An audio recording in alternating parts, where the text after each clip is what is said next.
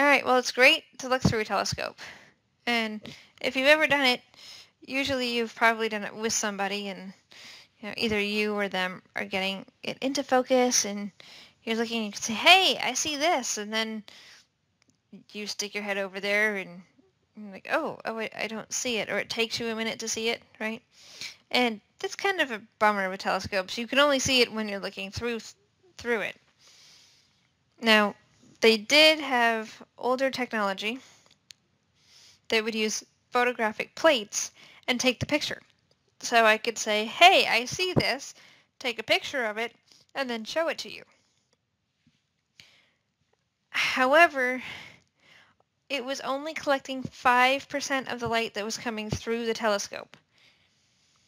This was kind of a big problem because the only way we can find out things about the universe is kind of through telescopes.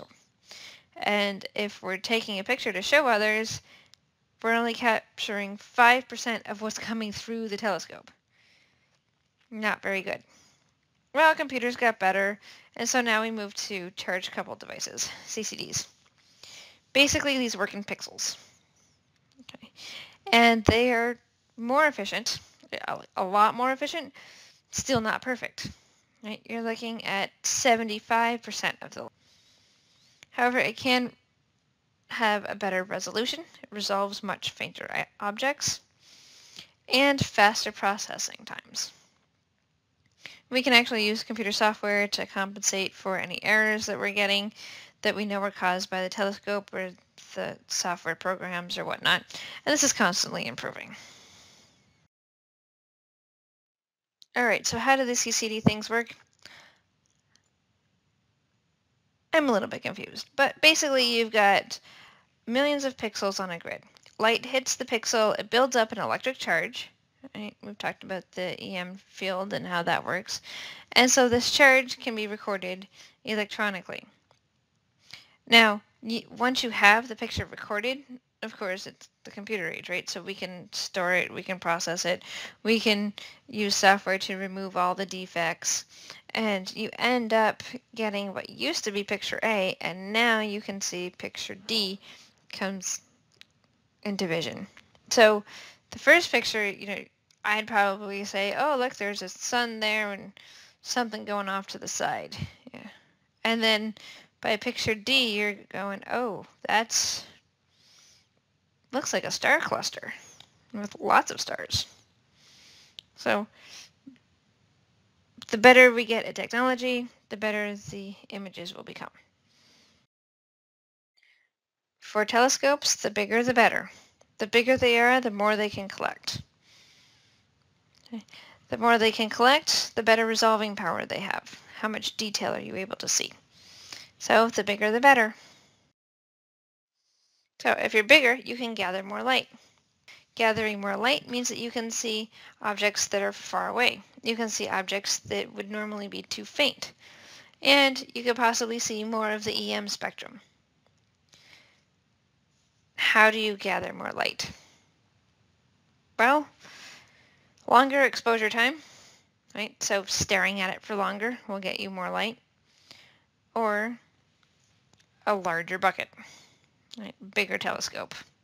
Bigger telescope will get you more light. Okay, so longer exposure time. Right, once you have a telescope, how much exposure you have to it will determine how much light you get. Now, there's a couple different ways to do that.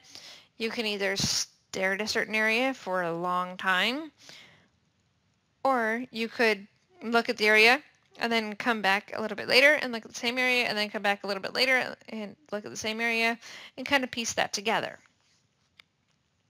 All right, that makes sense. But the problem is having access to the telescopes, right? How do you get access to a telescope? It's kind of the same problem as how do you get access to a supercomputer, which I was actually able to use back in mm, my days at grad school. And basically what you had to do is you had to submit your project to the people that own the supercomputer and wait for them to approve it for you. And then they would allow you a certain amount of time.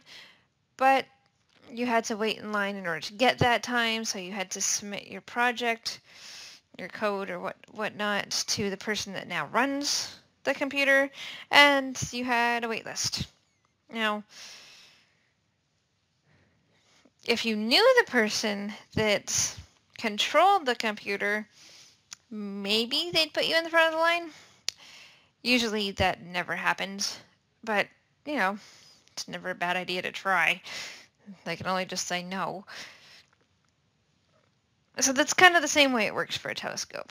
You have to put in your proposal, what you want to look at, how much time you need. It'll be reviewed and approved or denied or modified by the committee. And then it'll get passed on or you pass it on to the person who actually controls the telescope and they will help set it up in your waitlist. Now, I've got a link here, uh, The Big Bang Theory, and Sheldon needs to use a supercomputer, so he's in this process of figuring out how he's going to use the supercomputer. So, if you have a minute, it's just a cute little clip on waiting.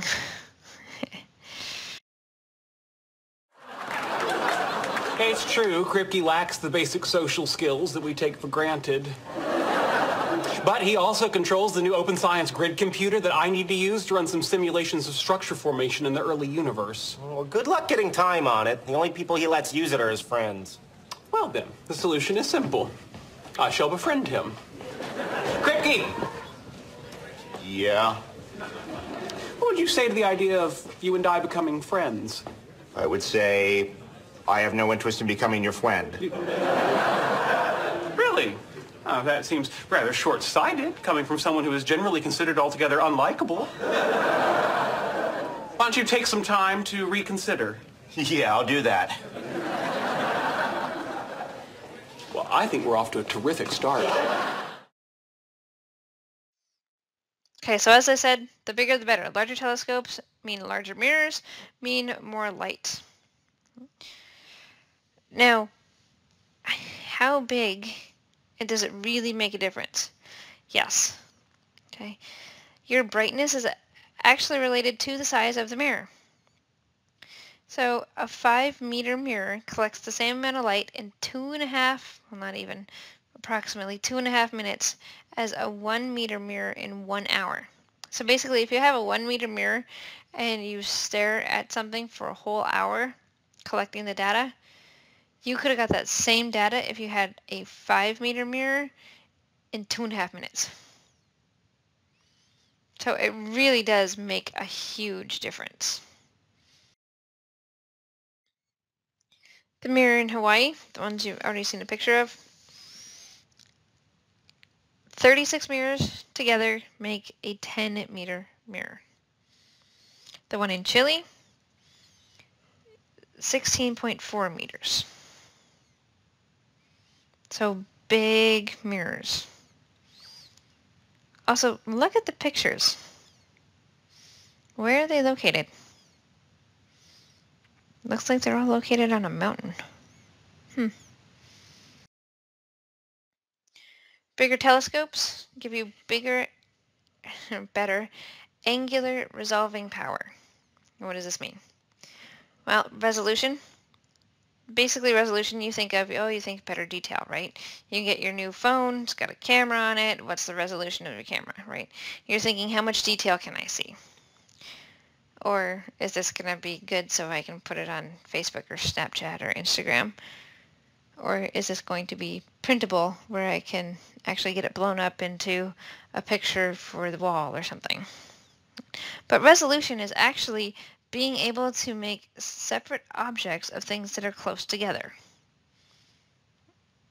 Okay, and so if you see A, B, C, D, those pictures over there, right, you got two things, they're kind of fuzzy. By the time you get down to D, you can see clearly what's going on.